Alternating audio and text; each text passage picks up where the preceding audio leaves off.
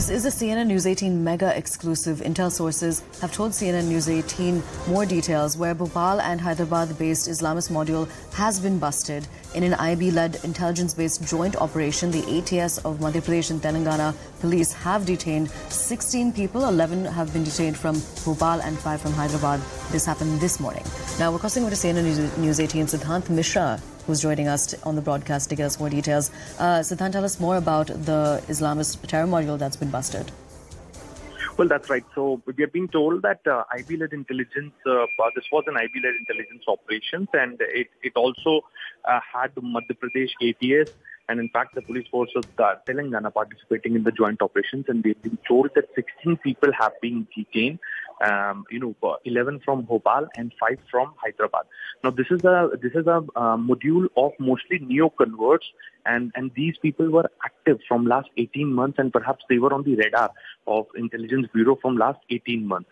We've also been told that mobile phones, laptops, and several storage media devices have also been seized, and large volume of Islamic jihadi literature, knives, dagger, and air guns have also been recovered. Now, since it's a joint operation, but it has been decided that the case is going to be registered by ATS Madhya Pradesh, and uh, persons, those who have been detained from the Hyderabad, will be brought to Bhopal uh, today, and they will be interrogated not just by one agency, but multiple agency interrogation will uh, will take place. Now, this is a big module which has been busted. In fact, this module has been uh, uh is, is, mostly of neo converts, and, and and you know they were they were um, I mean to the to the knowledge that uh, the input that intelligence agencies have is that they were planned. They could there could be a, a possibility of them conspiring uh, something big, and and this is perhaps the reason that even you know knives, dagger, and in fact the uh, the extremist jihadi literature have also been recovered from them. So which proves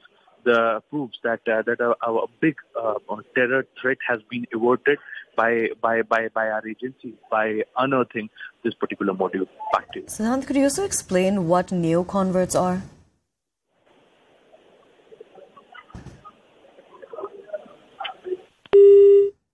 All right, we'll try to reestablish that connection, but essentially what we do know about this breaking development is that the ATS Madhya Pradesh will be re registering a case in this regard. Now, 16 people have been detained, 11 from Bhopal.